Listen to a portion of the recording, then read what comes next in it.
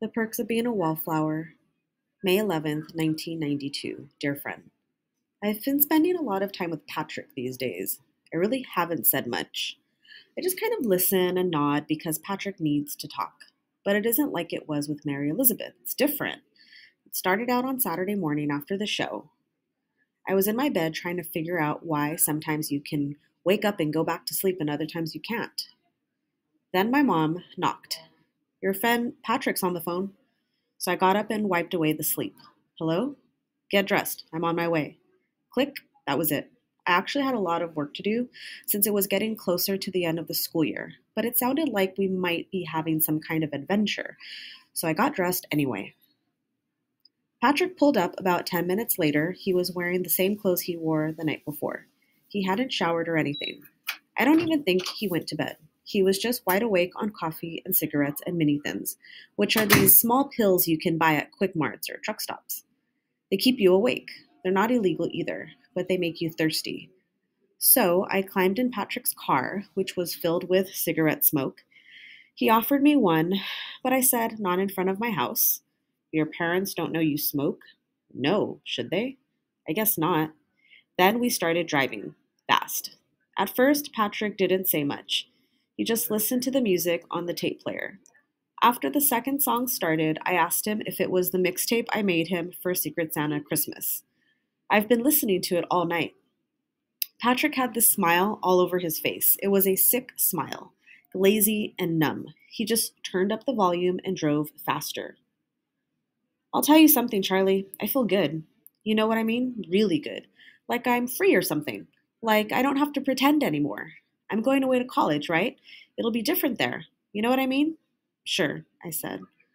I've been thinking all night about what kind of posters I want to put up in my dorm room, and if I'll have an exposed brick wall. I've always wanted an exposed brick wall so I can paint it. Know what I mean? I just nodded this time because he didn't really wait for a sure. Things will be different there. They have to be. They will be, I said. You really think so? Sure. Thanks, Charlie. That's kind of how it went all day. We went to see a movie and we ate pizza. And every time Patrick started getting tired, we got coffee and he ate another mini thin or two. When things started turning dusk outside, he showed me all the places he and Brad would meet. He didn't say much about them, he just stared. We ended up at the golf course. We sat on the 18th green, which was pretty high on a hill, and we watched the sun disappear. By this point, Patrick had bought a bottle of red wine with his fake ID, and we passed it back and forth, just talking. Did you hear about Lily? he asked. Who? Lily Miller. I don't know what her real first name was, but they called her Lily. She was a senior when I was a sophomore. I don't think so. I thought your brother would have told you. It's a classic. Maybe. Okay, stop me if you heard it. Okay? So Lily comes up here with this guy who was the lead in all the plays. Parker? Right, Parker. How did you know? My sister had a crush on him. Perfect. We were getting pretty drunk, so Parker and Lily come up here one night and they are so in love. He even gave her this his thespian pin or something. At this point, Patrick is spitting out wine between sentences. He's laughing so hard. They even had a song, something like Broken Wings by that band, Mr. Mister. I don't even know, but I hope it was Broken Wings because it would make the story perfect. Keep going, I encouraged. Okay, okay, he swallowed. So they've been going out for a long time, and I think they've even had sex before, but this was going on. This was going to be a special night. She packed a little picnic, and he brought a boombox to play Broken Wings. Patrick just couldn't get over that song. He laughed for 10 minutes. Okay, okay, I'm sorry. So they have this picnic with sandwiches and everything. They start to make out, the stereo's playing, and they're just about to do it when Parker realizes he forgot the condoms. They're both naked on this putting green. They both want each other. There's no condom, so what do you think happened? I don't know. They did it doggy style with one of the sandwich bags. No, was all I could really say. Yes, was Patrick's rebuttal. God, was my counter. Yes, was Patrick's conclusion. After we shook off the giggles and wasted most of the wine with spit takes, he turned to me. And you want to know the best part? What? She was the valedictorian, and everyone knew it when she went up to give her speech. There's nothing like the deep breaths after laughing that hard. Nothing in the world like a sore stomach for the right reasons. It was that great. So, Patrick and I shared all the stories we could think of. There was a kid named Barry who used to build kites in art class. Then, after school, he would attach firecrackers to the kite and fly it and blow it up. He's now studying to be an air traffic controller. Patrick's story via Sam. And then there was this kid named Chip who spent all of his money from allowance and Christmas and birthdays to buy bug killing equipment, and he would go door to door asking if he could kill the bugs for free. My story via my sister. There was a guy named Carl Burns, and everyone called him CB. And one day, CB got so drunk at a party that he tried to fuck the host's dog. Patrick's story. And there was this guy they called Action Jack because supposedly he was caught masturbating at a drunk party. And at every pep rally, the kids would clap and chant, Action Jack, clap, clap, clap, Action Jack. My story via my brother. There were other stories and other names second base Stace, who had breasts in the fourth grade and let some of the boys fill them, Vincent, who took acid and tried to flush a sofa down the toilet, Sheila, who allegedly masturbated with a hot dog and had to go to the emergency room. The list went on and on. By the end, all I could think was what these people must feel like when they go to their class reunions. I wonder if they're embarrassed, and I wonder if that's a small price to pay for being a legend.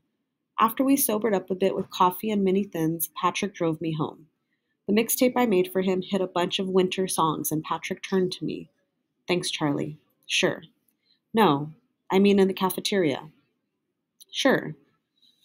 After that, it was quiet. He drove me home and pulled up in the driveway. We hugged goodnight, and when I was just about to let go, he held me a little tighter, and he moved his face to mine, and he kissed me. A real kiss. Then he pulled away real slow. I'm sorry.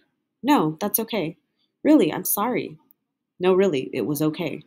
So he said thanks and hugged me again, and moved in to kiss me again, and I just let him. I don't know why. We stayed in his car for a long time. We didn't do anything other than kiss, and we didn't even do that for very long. After a while, his eyes lost the glazy, numb look from the wine or the coffee or the fact that he had stayed up the night before. Then he started crying. Then he started talking about Brad. And I just let him because that's what friends are for. Love always, Charlie. May 17th, 1992. Dear friend, It seems like every morning since that first night, I wake up dull and my head hurts and I can't breathe. Patrick and I have been spending a lot of time together. We drink a lot. Actually, it's more like Patrick drinks and I sip. It's just hard to see a friend hurt this much, especially when you can't do anything except be there. I want to make him stop hurting, but I can't, so I just follow him around whenever he wants to show me his world. One night, Patrick took me to this park where men go to find each other. Patrick told me that if I didn't want to be bothered by anyone, that I should just not make eye contact. He said that eye contact is how you agree to fool around anonymously. Nobody talks, they just find places to go. After a while, Patrick saw someone he liked. He asked me if I needed any cigarettes, and when I said no, he patted my shoulder and walked away with this boy. I just sat on a bench, looking around. All I saw were the shadows of people, some on the ground, some by a tree, some just walking. It was so quiet. After a few minutes, I lit a cigarette and I heard somebody whisper, You got an extra cigarette? The voice asked. I turned around and saw a man in shadow. Sure, I said. I reached out to hand the man a cigarette. He took it. You got a light? He said. Sure, I said. And I struck a match for him. Instead of just leaning down and lighting the cigarette, he reached out to make a cup around the match with our hands, which is something we all do when it's windy. But it wasn't windy. I think he just wanted to touch my hands because while he was lighting the cigarette, he did it for a lot longer than necessary. Maybe he wanted me to see his face over the glow of the match, to see how handsome he was. I don't know. He did look familiar, but I couldn't figure out from where. He blew out the match, thanks, and exhaled. No problem, I said. Mind if I sit down? He asked. Not really. He sat down and said a few things, and it was his voice. I recognized his voice. So I lit another cigarette and looked at his face again and thought hard, and that's when I figured it out. It was the guy who does the sports on the TV news. Nice night, he said. I couldn't believe it. I guess I managed to nod because he kept talking about sports. He kept talking about how the designated hitter in baseball was bad and why basketball was a commercial success and what teams looked promising in college football. He even mentioned my brother's name, I swear. All I said was, So, what's it like being on television? It must have been the wrong thing to say because he just got up and walked away. It was too bad because I wanted to ask him if he thought my brother would make it to the pros. Another night, Patrick took me to this place where they sell poppers, which is this drug you inhale. They didn't have poppers, but the guy behind the counter said that he had something that was just as good. So Patrick bought that. It was in this aerosol can. We both took a sniff of it, and I swear we both thought we were going to die of a heart attack. All in all, I think Patrick took me to about every place there is to go that I wouldn't have known about otherwise. There was this karaoke bar on one of the main streets in the city, and there was this dance club, and this one bathroom and this one gym, all these places. Sometimes Patrick would pick up guys, sometimes he wouldn't. He said that it was hard being safe, and you never know. The nights he would pick up someone always made him sad. It's hard too because Patrick began every night really excited. He always said he felt free, and tonight was his destiny, and things like that. But by the end of that night, he just looked sad. Sometimes he would talk about Brad, sometimes he wouldn't. But after a while, the whole thing just wasn't interesting to him anymore, and he ran out of things to keep himself numb. So tonight, he dropped me off at home. It was the night we went back to the park where men meet, and the night he saw Brad there with some guy. Brad was too into what he was doing to notice us. Patrick didn't say anything. He didn't do anything. He just walked back to the car, and we drove in silence. On the way, he threw the bottle of wine out the window and it landed with a crash.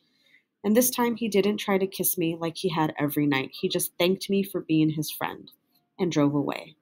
Love always, Charlie.